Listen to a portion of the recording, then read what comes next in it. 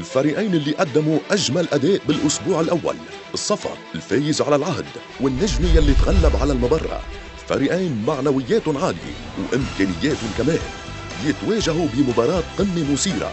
الصفا والنجمي مباشرة من ملعب المدينة الرياضية. الأحد خمسة وربع المساء حصريا على الجديد.